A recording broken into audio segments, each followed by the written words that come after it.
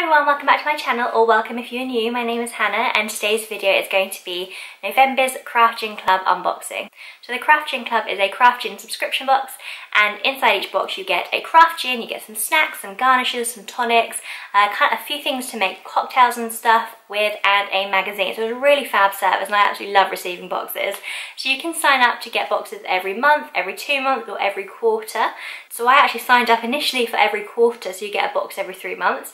I then loved them so much that I then upped it to every two months and now I'm getting a box every single month.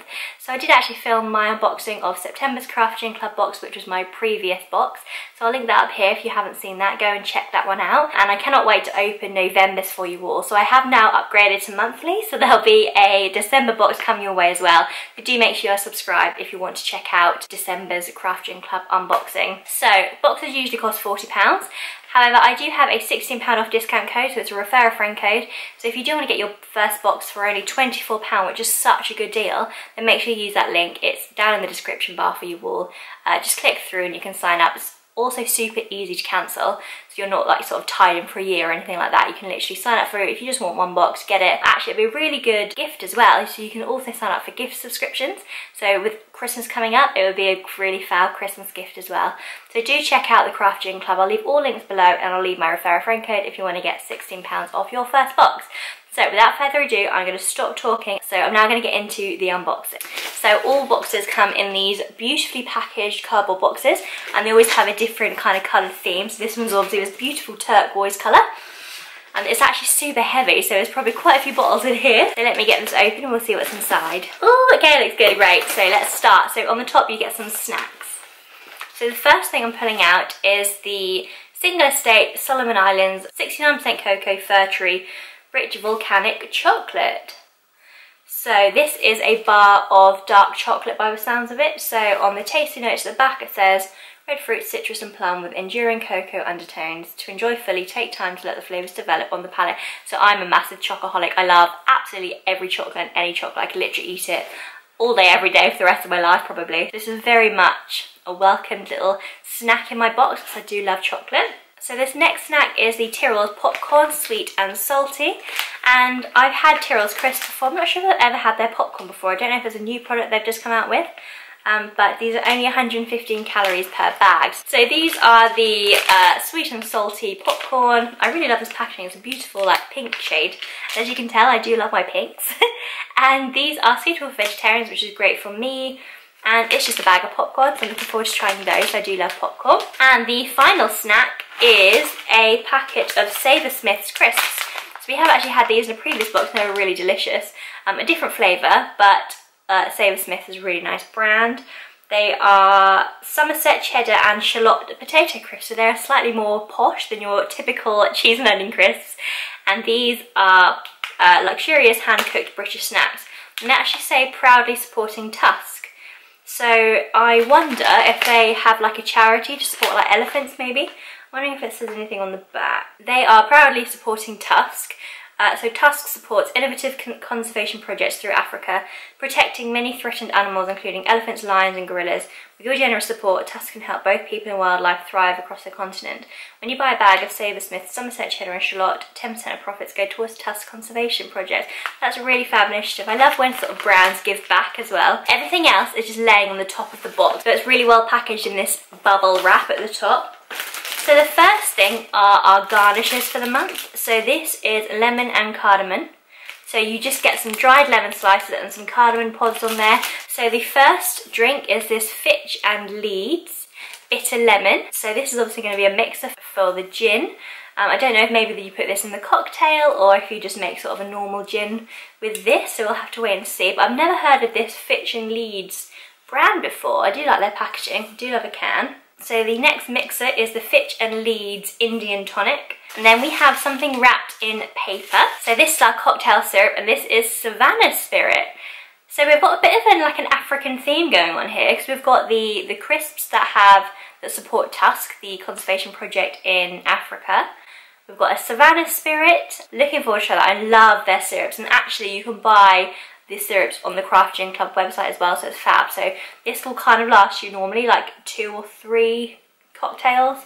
um, depending on how much you need in each recipe. But you can buy them again on the Craft Gin Club because there was one a couple of months ago that I absolutely loved. It was like a gin colada flavour and you can actually now buy like a 500ml bottle of the syrup. So, oh, it's fabulous. That was like the best summer cocktail I've ever had. Right, so moving on, we also have Oh, a little bottle of Amarula. Can you see that? Oh, it's adorable. Look how cute that is.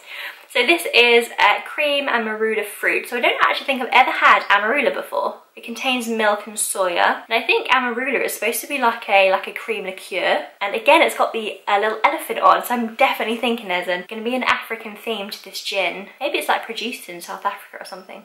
Who knows? Um, but I'm looking forward to trying that. Maybe this goes in the cocktail as well. We'll have to wait and see. So another big bottle here. It's upside down. So this is a bottle of drink and it's Mangojo, caffeine-free well-being wonder, red grape and rooibos, rooibos, I always struggle with that word. And it's got no added sugar and it contains naturally occurring fruit and apple juice sugars. So the next one is wrapped up and this is Two Keys Mixer. It looks like this. It's got the most amazing packaging. It's got this absolutely fabulous rhino with like a cheetah print on it. It's so cool, but it's amazing. So this is a lemon mixer. Um, so a sparkling lemon flavoured soft drink made with real lemon juice. So again, this has got a rhino on it and it's like cheetah print and they also donate 5% of sales to Tusk. And then for the final mixer we have a another can of the Indian tonic by Fitch and Leedes. So another great thing about these boxes is you get to try so many different brands of tonic. Like there's so many tonic brands out there. When you go to your standard supermarket, you kind of only get the like most popular ones. But there are some really great smaller producers of tonics in these soft drinks. So it's definitely worth shopping around, looking on the Craft Gin website and just seeing if you can get any of the tonics because they are all really fab. And then finally we have the gin. So it comes in the um, protective packaging and I can already kind of see the bottle looks amazing. I'm going to try and pull this out. Wow, look at that bottle. I'm trying to show it to you without getting the reflection of my ring light. It's an absolutely beautiful see-through glass bottle with a little cork lid. Oh, it's such a beautiful shaped bottle. It's quite similar to the Perfume Trees bottle as well actually. So this is Orient. So it's by Pienaar and Son, uh, which were established in 2015. And this is called Orient, Eastern Spices and Fresh Citrus. Original handcrafted spirit made in Cape Town. So I was right, yay! So it's uh, from South Africa. So that's amazing. Cape Town is one of the places I would absolutely love to visit. Oh, this gin looks absolutely beautiful. So it's a handcrafted gin from grain to bottle. At Pienaar and Son, we strive to produce beautifully crafted gin from start to finish. This means we ferment and distill everything in Cape Town. You're about to enjoy a unique gin made from South African maize, infused with botanicals that have been carefully selected to pay homage to the Eastern spice trade that influence Cape Town culture and cuisine alike. A refreshing, uninhibited gin packed with spice and citrus, sweet vanilla and mandarin orange notes complement the fiery cassia, ginger and allspice in a truly bold and inspired gin. Please enjoy. This sounds incredible got so many amazing flavours in there and botanicals I absolutely love. I really love like a really spicy gin. Cannot wait to try that and that is going to look beautiful on my bar cart.